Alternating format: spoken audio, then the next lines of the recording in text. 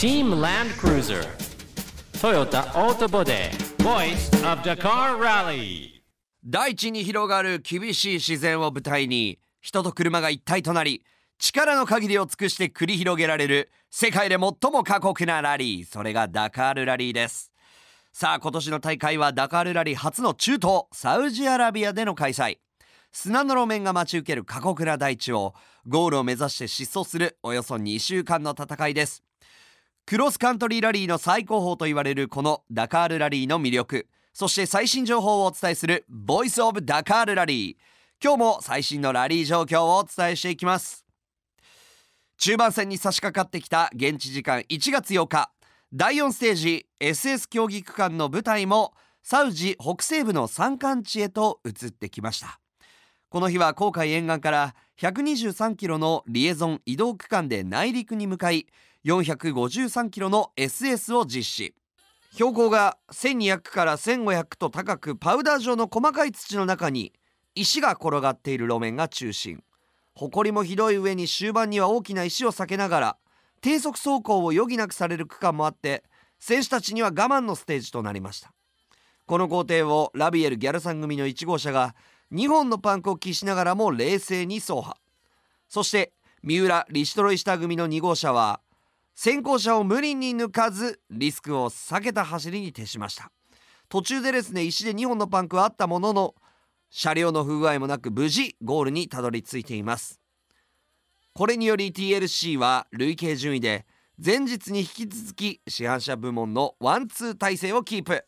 3位以下とのタイム差も拡大しています。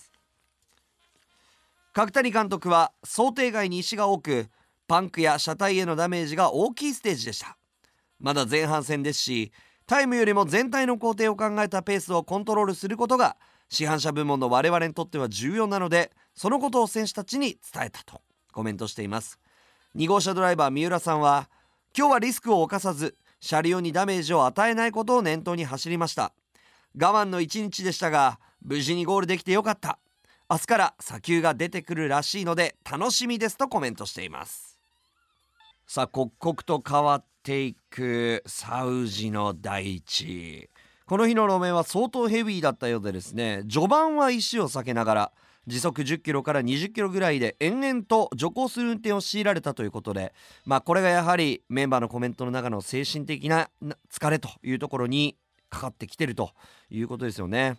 とはいえですね、えー、三浦ドライバーのこの明日から砂丘が出てくるらしいので楽しみですというのはちょっとこう希望がある。まあ、三浦ドライバー自身やっぱこの得意意識というかしっかりここは踏んでいってタイムを伸ばそうというところがあると。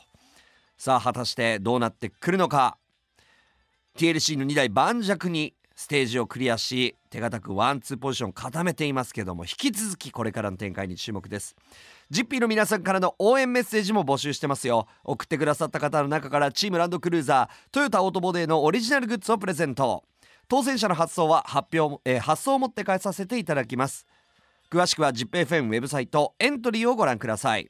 またチームの公式ホームページもあります。ホームページは検索ワードチームランドクルーザーでアクセスしてください。チームランドクルーザートヨタオートボデー Voice of Dakar Rally 来週のこの時間もお楽しみに。